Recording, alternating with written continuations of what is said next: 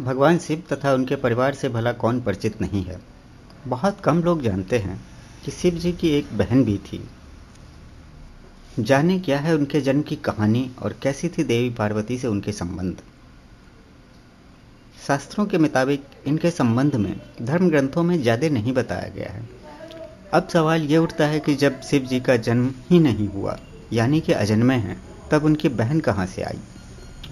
पौराणिक कथा के मुताबिक जब शंकर भगवान से विवाह के बाद माता पार्वती कैलाश पर्वत आई थी, तब उन्हें कैलाश पर्वत पर अत्यंत अकेलापन महसूस हुआ।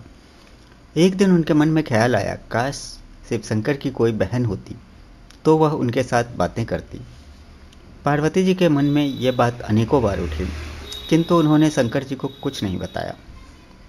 हालाँकि माता पार्वती को परेशान देख एक बार भोलेनाथ ने पूछा भी था कि कैलाश में कोई समस्या है? तो मुझे बताओ देवी। लेकिन भगवान भोलेनाथ तो अंतर्यामी ठहरे।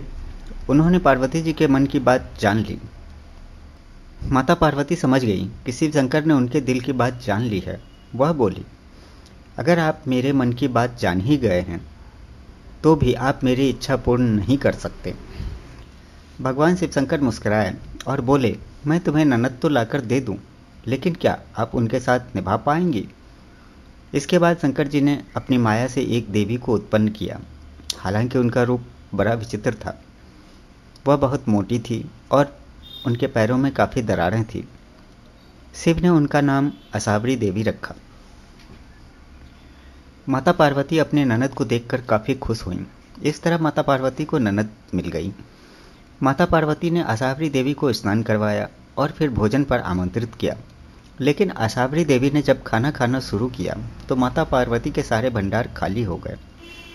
महादेव और अन्य कैलाशवासियों के लिए कुछ भी शेष न रहा। ननद के ऐसे व्यवहार से माता पार्वती को काफ़ी बुरा लगा, लेकिन उन्होंने किसी को कुछ नहीं कहा। इसके बाद माता पार्वती ने असावरी देवी को पहनने के लिए नए वस्त्र भेंट किए।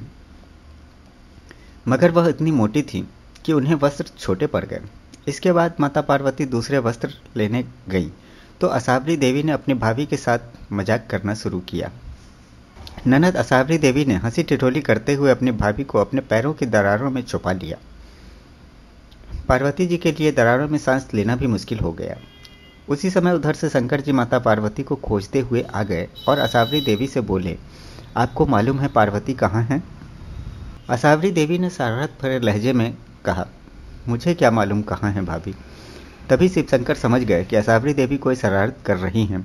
उन्होंने कहा, सत्य बोलो। मैं जानता हूँ कि तुम झूठ बोल रही हो। असावरी देवी ज़ोर ज़ोर से हंसने लगी और ज़ोर से अपना पैर ज़मीन पर पटक दिया।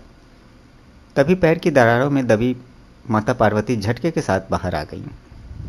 ननद के इस व्यवहार से माता पार्वती का मन बहुत ज़्यादा दुखी हुआ। वह गुस्से से भगवान भोलेनाथ से बोली कि आपकी विशेष कृपा होगी। अगर आप अपनी बहन को ससुराल भेज दो मुझसे गलती हो गई, जो मैंने ननद की इच्छा की। भगवान भोलेनाथ समझ गए कि भावी ननद में बहुत पटने वाली नहीं है।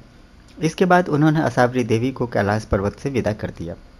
प्राचीन काल से आरंभ हुआ ननद भाभी के बीच नोकझोंक का सिलसिला आज तक चल रहा है।